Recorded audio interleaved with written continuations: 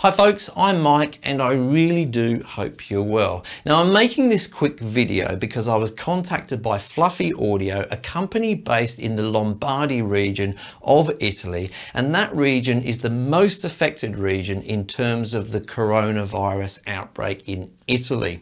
Now they were writing to let me know that they're currently selling one of their most popular piano libraries for a highly reduced rate and that all of the funds from those sales will be donated to their local hospitals as they struggle to keep up with the demand placed upon them with this coronavirus outbreak.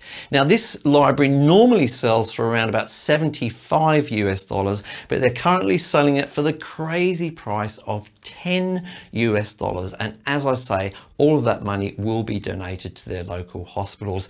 So this is your chance to really help out and at the same time get a really awesome piano library.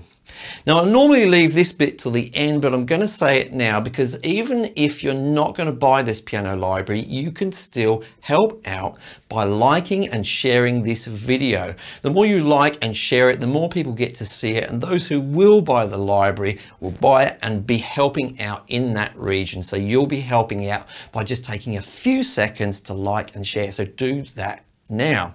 Now this is a really awesome sounding piano library. I've had it for just a few hours, but I'm really impressed. So let's take a look at it now.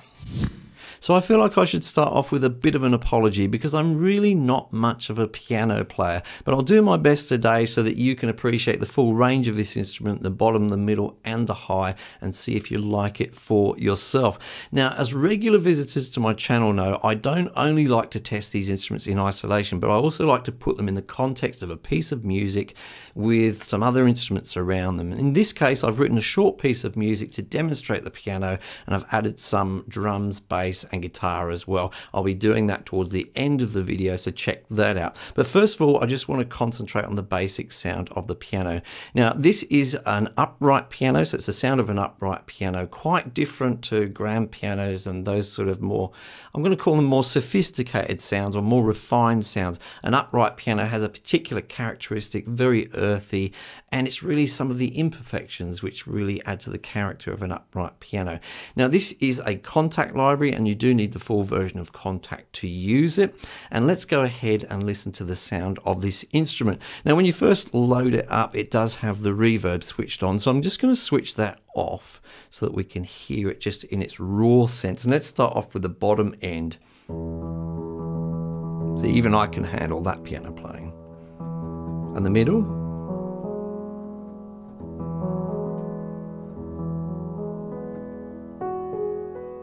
Middle to high. And a nice tinkly top end. Obviously very, very realistic sounding. Um, really nice sort of response with the velocity so you can be sort of very sensitive like that. Get nice and loud as well. And some really nice resonance to the piano. I particularly like it on the top end if you have a listen to this can hear that frame, you know, resonating as you do if you're close to a piano. Really like that kind of sound. Now, in terms of the interface, you can see here on the first page here, you've got some things which affect the sound. So, and we have an, a very basic equalizer there, um, a compressor, um, a convolution reverb, which I'm going to switch back on because I I really like the sound of that convolution reverb. Um, and then some, you know, ways to affect the sound in terms of distance. I should mention I've only quickly run through this plugin, so, you know, I'm going to give you a very brief overview here. I haven't necessarily tested all of this. We then move on to some response stuff, so a velocity curve as you would normally expect to get in some of these piano libraries, so you can sort of affect the sensitivity of your keyboard there. Also an attack and a release control there, which is very cool. Um, some controls over the, the decay, you don't always get these on all plugins, so that's very handy there. Then moving on, the resonance controls. This is the part that I really personally love, you know, where you can sort of, yeah, control the volume of those resonance. Now, if you want it to be sound sort of a little bit more sterile, you can, you know, turn all of this off. But um, I think it's really nice to have those sort of body sounds in there, um, you know, all those pedal sounds and all that kind of stuff as well. Really like that, especially when you're doing perhaps just a piano and a vocal or something like that. Uh, moving on to that, then of course you do uh, get some control over some of those effects. You know, the pedal up, the pedal down.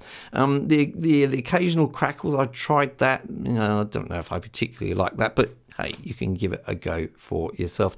So some nice controls over um, the piano there, and as I say, a really nice earthy kind of upright sound. You know, the sort of piano that you might have found in your lounge a few years ago in a local community hall, something like that. So I really love this. Now, as I mentioned, I put together a really short piece of music. I very quickly wrote it kind of last night and then just developed it a little bit this morning. Um, and as I say, I've added some bass and drums and a little bit of guitar to this. Now, I haven't given this a name whatsoever, this piece of music. It is unnamed, but in the tradition of this channel, I'd love to hear your suggestions for a name for this piece of music. Put it down in the comments. I'd love to hear um, what you think this piece of music is representing to you. It's a little bit sad sounding. Sorry about that if you need cheering up, but you know, that's just the way it is. So have a listen to that now.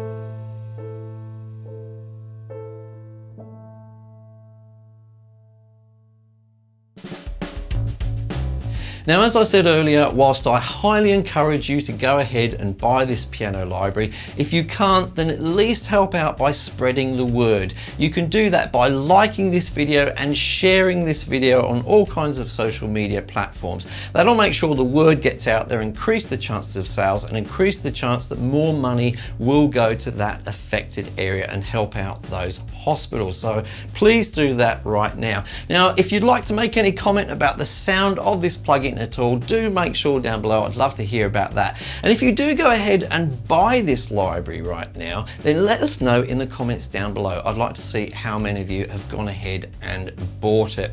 Now, as ever, if you do like this kind of content, then please do make sure you subscribe and ring the bell on YouTube so that they notify you about my future videos. And I'll see you in the next video.